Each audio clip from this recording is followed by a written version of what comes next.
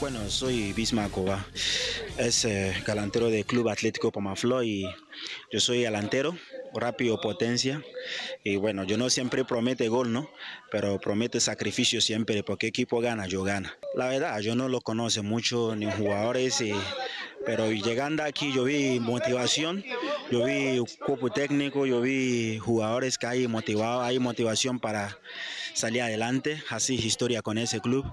Así que yo venir sumando, conociendo mis jugadores, de diligencia, los cuerpos técnicos que hay.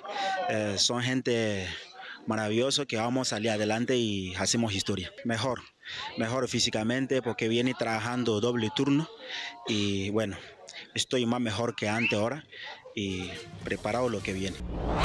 Sports.